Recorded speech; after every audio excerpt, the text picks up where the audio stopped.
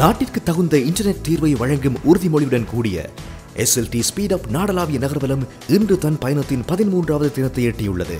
புலனர்வை நகரை சென்றடைந்த நகர்வலத்தினை ஸ்ரீலங்கா டெலிகாம் குழுமத்தின் தலைவர் குமார சிங்க சிறிசேன அவர்கள் வரவேற்றார்கள். இதன் பின்னர் மட்டக்களப்பு நகரை அண்மித்த எஸ்எல்டி ஸ்பீட் அப் நகர்வலத்திற்கு பாரிய வரவேற்பு கிட்டியது.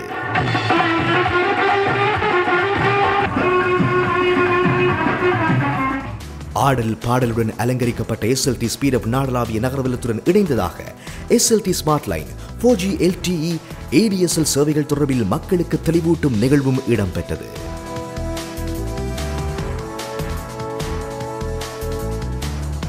எஸ்எல்டி ஸ்பீடப் அப் நாடளாவிய நகர்வலம் இன்று கல்முனியை கடந்து அம்பாறை நகரை சென்றடைந்தது. நாளை நகர்வலம் பண்டாரவளை நகரையை சென்றடையும்.